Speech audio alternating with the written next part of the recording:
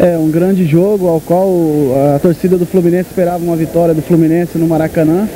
Mas acontece que essa Série C é muito equilibrada. Haja visto que ontem o Serra, em pleno Maracanã, ganhou de 2 a 1 é, Com esse jogo de amanhã, eu fiz 16 arbitragens no Campeonato Brasileiro. É, eu não posso reclamar. Esse ano foi muito bom. O Armando Marques, inclusive, deu bastante chance aqui para nós do Paraná, que é a arbitragem do Paraná, aquilo que eu te falei. Problemas.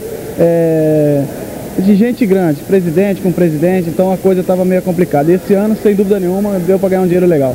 É, o resultado sai em janeiro, nós estamos trabalhando para isso. Eu acho que só o fato da gente estar trabalhando nesses playoffs aí, que eu tenho um jogo do playoff da Série B e também agora da Série C.